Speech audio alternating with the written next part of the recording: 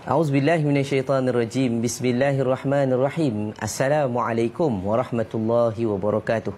Alhamdulillah wassalatu wassalamu ala Rasulillah wa ala alihi wa sahbihi wa man wala. Asbahna ala fitratil Islam wa kalimatil ikhlas wa ala dini nabiyina Muhammad sallallahu alaihi wasallam. Alhamdulillah segala puji bagi Allah Tuhan yang menciptakan sekalian alam. Selawat dan salam buat junjungan mulia Nabi Muhammad sallallahu alaihi wasallam serta seluruh ahli keluarga baginda, para sahabat dan mereka yang bersama dengan baginda Rasul sallallahu alaihi wasallam. Tak dilupakan juga buat anda semua, rakan-rakan para penonton yang saya kasihi kerana Allah, cintai kerana Nabi. Moga-moga kita berpaksi atas ketauhidan yang satu. Terima kasih kepada semua untuk dipertemukan pada pagi 7 Ogos uh, 2020 empat ini bersamaan dengan dua safar 1446 hijrah. Dan kita doakan moga-moga kita dapat sama-sama bina syurga di rumah bina rumah di syurga serta sama-sama kita masuk syurga bersama dengan keluarga yang tercinta. Bagi sahabat-sahabat yang baru menonton kami terima kasih dan jangan lupa untuk sahabat-sahabat yang menonton juga di mana-mana platform media sosial untuk like dan komen dan tinggalkan apa jua pandangan yang baik-baik untuk kita kongsikan. Dan insyaAllah kita bersama-sama nak mengambil ilmu yang disediakan dalam segala platform yang disediakan untuk kita satukan ummah dengan ilmu membentuk Malaysia Madani. Baik, muslimin muslimat rahimakumullah sekalian. Sebagai pertemuan pertama kita, kita nak bawakan satu tajuk, satu bicara mengenai muallaf tanggungjawab bersama Masya Allah, tabarakallah. Jadi apakah yang akan dibicarakan nanti? Kita akan bersama dengan Ketua Pegawai Eksekutif, uh, Saudara Firdaus Wong Wai Hong yang turut bersama dengan kita ketika ini. Assalamualaikum. Waalaikumsalam warahmatullahi wabarakatuh. Prof. Firdaus ya. Eh? Sehat Alhamdulillah. Alhamdulillah. Masya Lama tak jumpa kita. Lama betul lah. Rindu saya tengok balik gambar rasanya dekat dua bulan lepas. Dua tiga bulan lepas dah. Betul lah. Oh, bulan lima kan? Betul. Itu pun berjumpa di tepi jalan. Ah. Tapi saya difahamkan uh, bahawa saudara kita baru balik daripada Istanbul. Dalam masa yang sama juga katanya sempat singgah di Mekah dan Madinah. Ya, transit transit Masya panjang Allah. sikit tiga hari supaya boleh buat umrah sekali. Masya Allah. Alhamdulillah. Ambil lah kita kata apa menyelam sambil minum air. Masya Allah, Ya. ni betul-betul memang dapat rezeki ni. Alhamdulillah, Satu, Alhamdulillah. mungkin ada tujuan ke Istanbul dan yang kedua dapat melaksanakan satu di antara sunnah dan perkara yang digalakkan dalam agama saat kita berada di kota Mekah Madinah. Baik, dalam masa yang sama juga macam mana uh, kalau bolehlah kongsikan kepada kami lah tentang uh, perjalanan MRM tujuan diwujudkan ditubuhkan dan juga macam mana tentang sedikit sebanyak berkaitan dengan mualaf di Malaysia dan juga di luar negara. Okey, dia sebenarnya. Okey, terima kasih Nabil, terima kasih kepada penonton di rumah. Uh, lama tak bersua di dalam studio. Selama ini dua, dua minggu lebih uh, asyik Skype saja sebab Masya saya berada di Istanbul untuk menghadiri dua program yang besar. Satu adalah uh, program uh, strategi, strategi cara Nabi. Okey, itu satu dan kemudian disusuli dengan uh, program kepimpinan bersama dengan Sheikh Dr. Tariq Suwaidan. Jadi selama dua minggu lebih juga saya berada di situ dan kemudian nak balik ke Malaysia tu kita singgahlah uh, di Jeddah dan kemudian buat umrah sekali. Baik, uh, kalau balik kepada asal usul ya bagaimana uh, wujudnya ditubuhkannya multiracial reverted muslim MRM ini. Sebenarnya dia dia awal dia adalah pada 2008 kalau tak silap Ya. saya kerana ketika itu saya baru 3 tahun memeluk Islam. Masya Allah. jadi bila kita, saya memeluk Islam ni kita kena bayangkan uh, pada zaman dulu eh kita kata 2008 lebih kurang 16 tahun dan sebagainya kan? So kalau waktu itu 2008 s- uh, kita tak begitu well connected well connected ya Facebook baru mula Ya, 3 ya, tahun juga kan baru mula 3 tahun jadi waktu itu susah nak berjumpa dengan mualaf dan sebagainya rasa seperti sistem sokongan tu kurang Hmm. Dan pada waktu itu bukanlah niat dan tujuannya untuk uh, bersaing dengan uh, mana-mana institusi agama bukan. Mm-mm. Tetapi lebih kepada melihat satu keperluan kerana saya juga kerap komplain dulu. Ya, ya, ya. Tetapi kemudian saya bermuhasabah dan saya fikir kalau aku komplain apa boleh buat? Mm-mm. Kalau saya komplain, masalah tak selesai. Jadi lebih baik kita buat sesuatu dengan harapan harga Allah Subhanahu Wa Taala terima. Ya, ya, ya. Jadi waktu itu saya mulakan community uh, secara atas talian saja. Hmm. Uh, yang waktu itu saya panggil sebagai Malaysia Reverted Muslim. MRM juga tapi masa masa itu Malaysia. Jadi bila wujudkan community itu ramai mualaf masuk. Oh. Mas- Masing-masing cuba mengadu. Saya ada masalah ni Saya ada masalah. Dia bukan masalah kewangan semata-mata. ya, ya, ya. Ramai orang fikir Bila sebut mu'alaf je Masalah kewangan. Betul. Tak, tak, tak, tak, tak, tak. Ada, saya tak nafikan. Tapi masa itu Masalahnya adalah Bila kita masuk Islam ni Dia macam seperti Kita lah satu-satunya Muslim. Cina Muslim India Muslim dan sebagainya. Komuniti tu tak ada. Dan lagi satu kami takut pula nak pergi masjid orang kata eh Cina kenapa masuk masjid pula masa tu kena bayangkan 2008 tu saya tak bela janggut lagi tak simpan janggut lagi so eh Cina kenapa masuk masjid lepas tu kita pula risau saya dah belajar tapi betul ke cara aku buat ni? Ya, kan nanti ya. orang tegur tak betul ke apa? Malu pula kan? Jadi sistem sokongan tu tak ada. Jadi di situ dah tempat kami meluar, hmm. tempat kami berkongsi dan alhamdulillah dan kemudian kami uh, lebih banyak secara sosial. Hmm. Tapi kemudian kami naikkan dia supaya kami jadikan dia lebih aktif. Lebih aktif dengan hmm. kami buat perjumpaan. Hmm. Kami buat perjumpaan sesama, sesama mualaf. Yang paling senang nak jumpa mualaf ni senang je. Hmm. Kat Malaysia ni adalah makan-makan. ha, kita buat potluck. So bila kita buat potluck tu masing-masing rasa best masing-masing yang dah berkahwin tu bawa pasangan mm-hmm. kita kena mengenali dan sebagainya yes, supaya difahami okey sebenarnya ada sistem sokongan mm-hmm. kita bantu apa yang boleh bukan semata kewangan tetapi dari sudut ilmunya bagaimana pembelajarannya mm-hmm. cabaran kerana kami yang pernah melalui detik-detik itu kami tahu bagaimana sukarnya. Ada di kalangan mereka tidak tidak diterima oleh ahli keluarga. Mm-hmm. ataupun diterima separa sahaja. Mm-hmm. ya ada yang langsung ditolak. Itu baru keluarga. Bagaimana pula dengan tempat kerja? Bagaimana pula dengan kawan-kawan mereka yang telah bersama dengan mereka selama ini? Mm, mm, mm, Jadi sebenarnya lebih dari sudut sokongan moral. Dan dari situ kami semakin aktif, semakin aktif, semakin aktif. Dan akhirnya kami kata, kenapa kami tidak menjadikan gerakan kami ini sebagai satu gerakan yang diiktiraf rasmi Mm-mm. di Malaysia. Jadi sebab itu kami pergi daftarkan dengan Jabatan Pendaftaran Pertubuhan mm. dan alhamdulillah 2014 uh, tertubuhlah multiracial reverted muslim MRM key focus adalah dakwah hmm. tapi bila dakwah nak tak nak kita juga berkata tentang kemungkinan orang akan memeluk Islam hmm. dan bila orang memeluk Islam takkan kita kata assalamualaikum terima kasihlah alhamdulillah awak dah masuk Islam jadi bye bye yeah, yeah. tak tak tak kami juga ingin mengadakan sistem sokongan untuk membantu dan menyokong perjalanan mereka dalam agama ini. Hmm, hmm, yeah. Hmm. Itu dia. Jadi maksudnya bukan mudahlah daripada pertemuan biasa-biasa yeah. akhirnya menatijahkan satu uh, community yang cukup luar biasa hari ini. Sebab JMRM RM saya yakin boleh dikatakan keseluruhan sahabat-sahabat di Malaysia dah arif dah. Oh ni mesti pedas buang ni. Allahu akbar. Hal kami fadrobi. Jangan sebut jangan salah sebut je. Ah, takut saya ingat saya awang Firong. Dah tahu lah Nabi suka ya, musik ni. Alhamdulillah. Tapi melihat juga tentang satu kerjasama yang baik. Ya. Uh, bukan hanya sekadar kita bergerak sebagai satu badan NGO, ya. tetapi juga telah diiktiraf oleh Majlis Agama Islam, khususnya Majlis Agama Islam Negeri Selangor. Ya, betul. Yang sendiri memberikan satu mandat dan kepercayaan untuk MRM menjadi satu pusat pendaftaran mualaf. Ya. Uh, jadi mungkin boleh cerita pada kami peranan yang dilakukan oleh pihak MRM itu sendiri dan macam mana kerjasama yang baik ya. dengan pihak Majlis Agama Islam Selangor. Saya sendiri memeluk Islam bersama di, di Perkim tetapi didaftarkan di JAIS. Oh, itu bawa MAIS. Dan waktu itu saya banyak benda saya komplain tentang MAIS dan sebagainya. Tapi sebagaimana hmm. saya sebut kalau komplain pun masalah tak selesai. Betul. Jadi kami buat apa yang mampu mm-hmm. dan kemudian alhamdulillah uh, setelah kami mendaftarkan diri dengan uh, Jabatan Pertubuhan Mualaf, jadi di situ kami ada jalan hubungan mm. kerjasama yang sangat erat dengan sangat baik dengan JAIS, ah. MAIS, dengan Jawi mm-hmm. dan beberapa jabatan agama yang ada di Malaysia.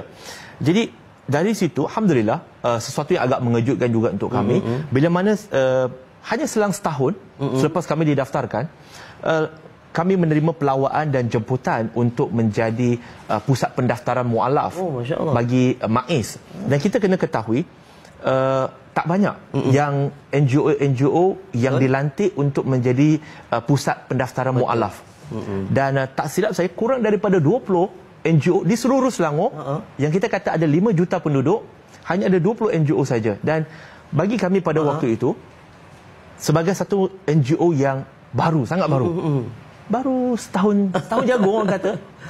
Dan kami dilantik. Dan kami mengambil amanat itu. Mm-hmm. dan kami kata oh, tak apa.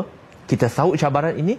Kita bantu jabatan agama apa yang boleh. Kerana masyarakat kita lebih suka mengadu tentang jabatan agama. Yeah, yeah. tapi bila kita tanya okey apa yang kamu telah buat untuk memudahkan? Mereka ada kekurangan. Mereka juga manusia. Mm. tapi apakah yang telah kamu lakukan? Mm. uh, apa yang saya lakukan adalah komplain je tak tak tak. Itu bukan cara kita. Yeah, yeah.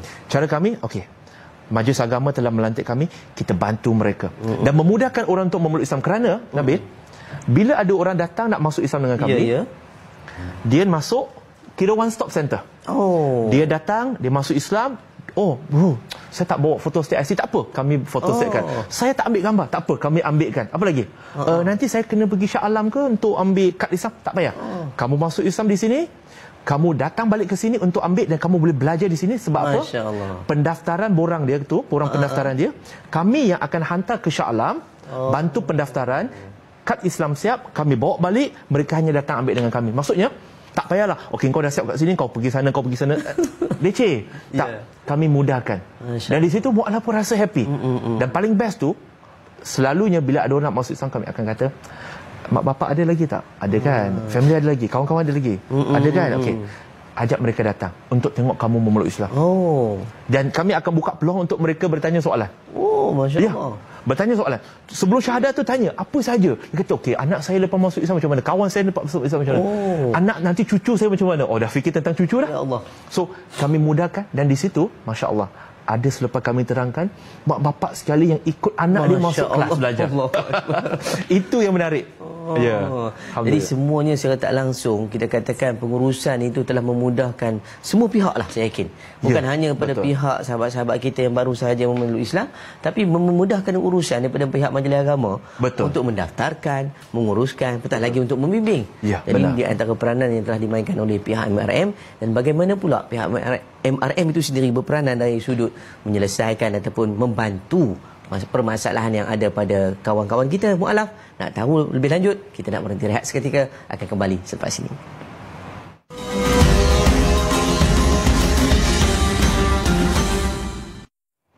Alhamdulillah wa syukrulillah. Terima kasih sahabat-sahabat para penonton yang dirahmati Allah sekalian. Masya Allah pada pagi ini Dapat sama-sama kita menyantuni mu'alaf Ataupun saudara baru kita Menerusi pihak MRM Dan yang bagaimana kita melihat bahawa Peranan MRM ini bukan hanya sekadar Untuk memastikan bahawa Kelangsungan sahabat-sahabat kita uh, Menerima hidayah itu Dapat dijaga dengan baik Tapi juga mereka menguruskan Dan berdepan dengan isu-isu Ataupun permasalahan yang dihadapi Oleh saudara baru kita.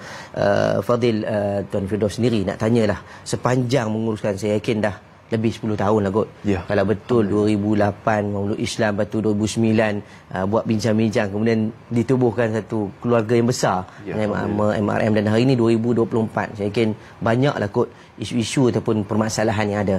Mungkin boleh kongsi dengan kami antara yang berjaya dan hari ini untuk dijadikan sebagai contoh dan mungkin antara cabaran besar yang hari ini memang, memang ini perkara yang perlu kita main ataupun peranan itu dimainkan secara bersama.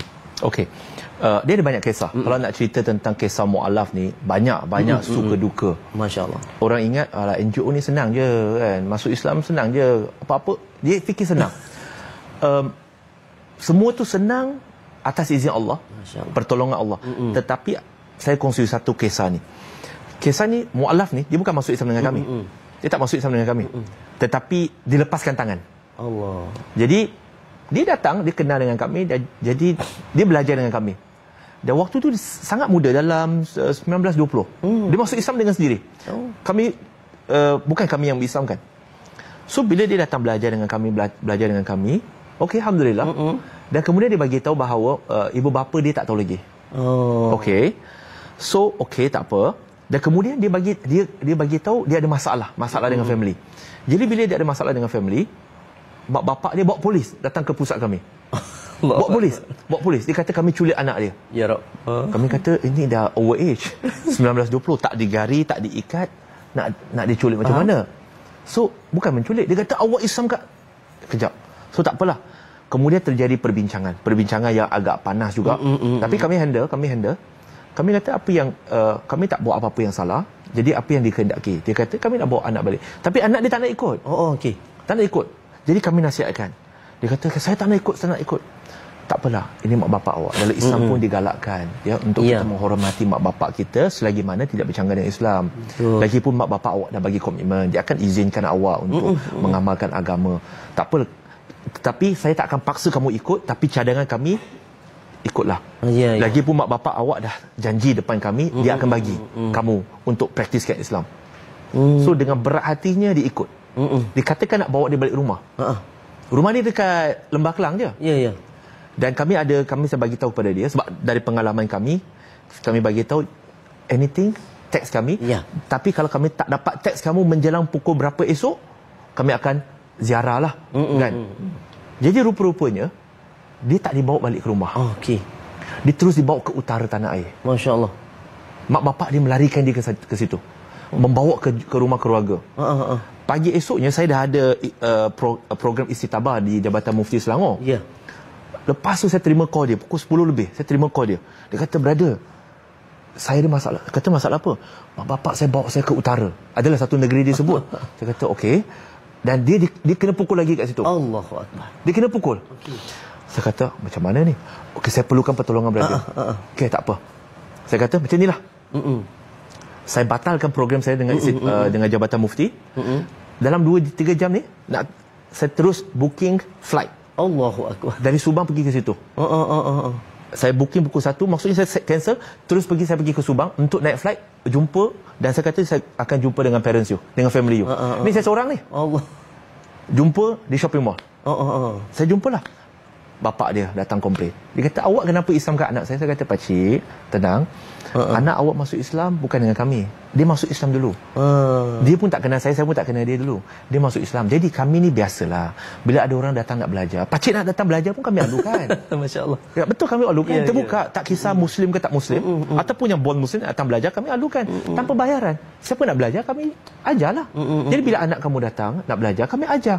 Jadi bukan kami yang Islamkan. Lagi satu, jangan kata paksaan sebab anak kamu memeluk Islam selepas 18 tahun.